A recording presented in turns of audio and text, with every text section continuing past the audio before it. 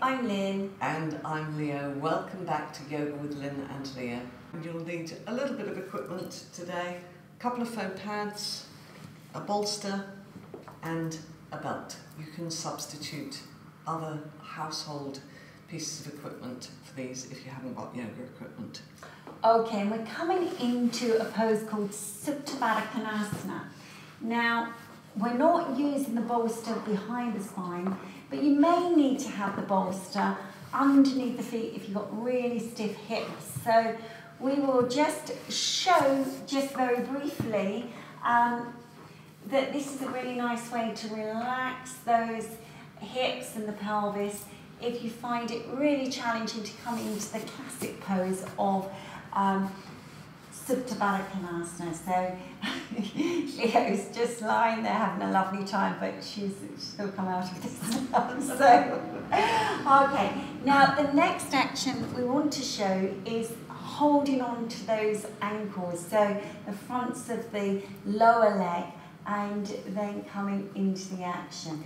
You can see that Leo lifts the body to take those feet together. Not everybody will have to do that. I certainly need to do it, but this is Supta Baddha and this is a really nice pose to just get some length in that front body and to energize the back. Now, if this is too tricky, then you can let go of those frontal shins and just, as you can see, slide the legs a little bit forward. So you've got three options there.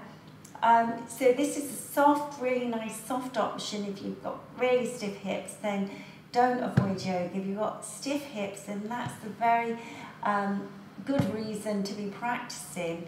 But use some support, this would be fine. If you've got quite flexible hips and long arms, then you can hold on to the feet. Or if you're sort of kind of in between, then you can let the feet slide. And you want to stay in this position just to open the groins and to be there for a little while. Softening the front body to back body and just letting the body open for just a few moments. So you may remember practicing this in the full um, sequencing on day seven.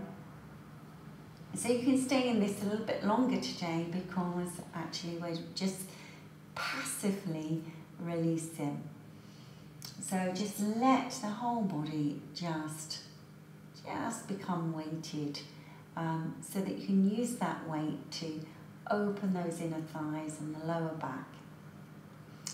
Okay, so once you have um, passively extended in this pose, then bring your thighs together. But once you see the video, you can stay in this for a little bit longer once you know the three poses. So from here, we're going to come into a Janu Sirsasana action. So we're going to use the bolster for this. And the reason for using the bolster is because those of you with stiff hips, this really does give a lot of support on the pelvis. So when you're here, you're going to start from Dandasana. You can see Leo's moving that buttock flesh out and back. And sitting up, rolling those shoulders back and down and lifting up. So before we go any further, you have to see that this Dandasana is really steady, steadfast, strong, strong legs extending into the heels. All of these actions need to be um, practiced. Okay, so bending your left leg out to the side. You can see here that Leo is just getting a little bit of space in her legs because it's quite a challenging action. And you can see that a lot of the thigh is supported on the bolster, and this is really important if you have stiffness in your hips. It's a really good way of working. And then we're just going to use the belt around the foot. Now, this is an option for if you've got stiff hips, but also a really nice option you want to start to work on your hips and get a little bit more action. So I'm going to show you how to do that. So I'm going to let go of this belt and then sit a little bit further back onto the support, a little bit to the, the, the left side, yeah, that's it.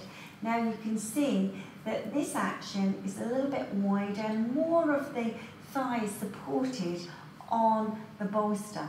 Now, if the thigh's still lifting, then you might want to put a blanket underneath um, between the back of the thigh and the bolster itself. But this will help you to um, extend quite nicely because you want to get the length in the groins. So it certainly gives you a little bit more of an open action.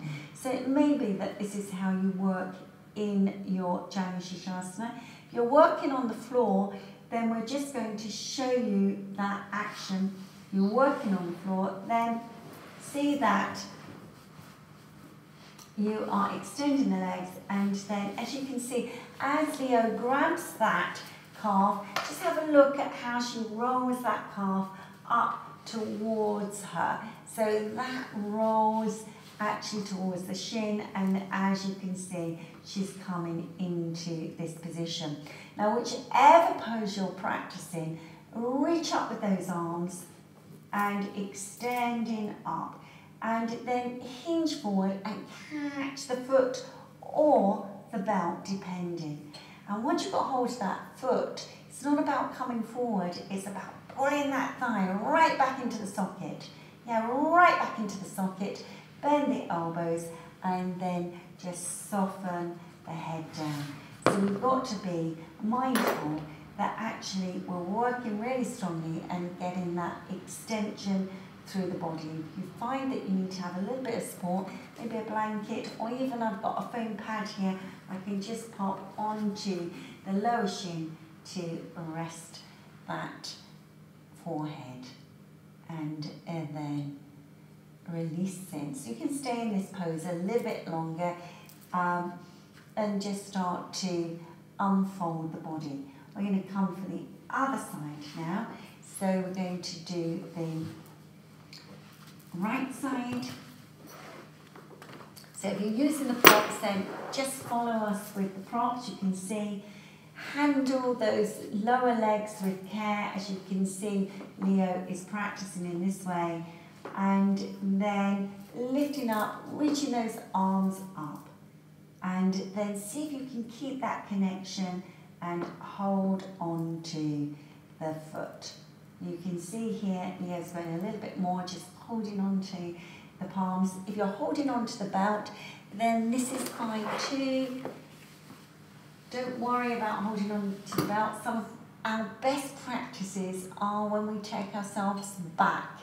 So we're not striving constantly, but we're just really being connected, and that's really lovely. Um, but of course, if you want to hold on to the foot, then do so and extending the front of the body. See Leo is going to come into this action now and get the whole action and releasing the head. Okay, and then release it. And again, do have your own timings. It may be that you can stay in this pose for a little bit longer, and that's fine. We're coming to our next pose now, and that is Ardha Matsyendrasana. And we're going to use um, these two foam pads and we're going to have also this bolster just behind Leo so she's got something to put her hand onto when she comes into the twist.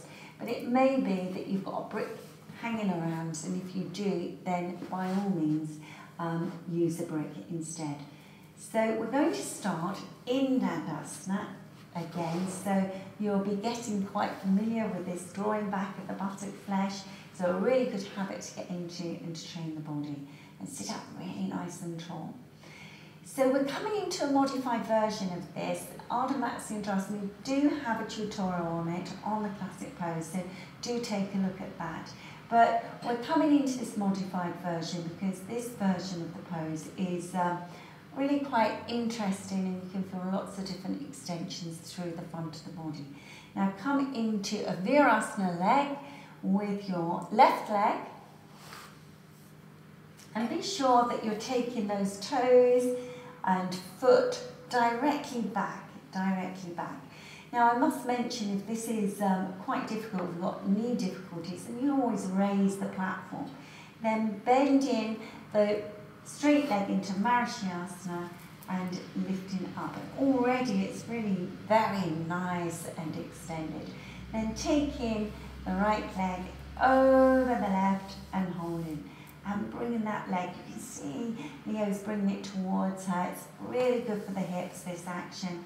And then just placing the inside of the upper arm into the body and pulling that, that thigh towards you. And then see, can you take your hand round?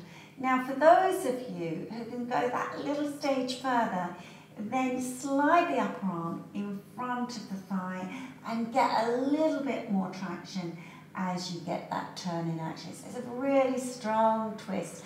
So do practice this one, but it's, it's so nice to do. It's a real rinse in action of the abdomen and the upper abdominal area and then releasing and strengthening the legs. So just give yourself a few moments lifting up. So now we're going to bend the right leg and taking the left leg over the right. So again, do be sure you're getting that really nice lift. So we come for that twist again. First is the hook of the arm. Yes, and getting that pulling. You can see really nicely here that Leo's demonstrating this really well, extending up. And then slide that upper arm in front and get that turn in action. Release the shoulders down.